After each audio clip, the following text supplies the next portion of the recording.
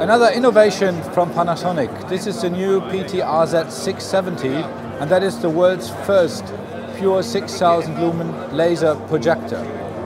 For years, projectors have been using lamp technologies um, with limited lifetime and we are now um, exchanging into a new era with alternative light sources.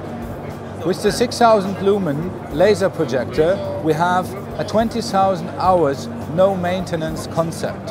So 20,000 hours is the lifetime of the light source and because of a filter-free design, there's also no service cycle in between which you need to plan and that is dramatically reducing the total cost of ownership that you have with your projector installation.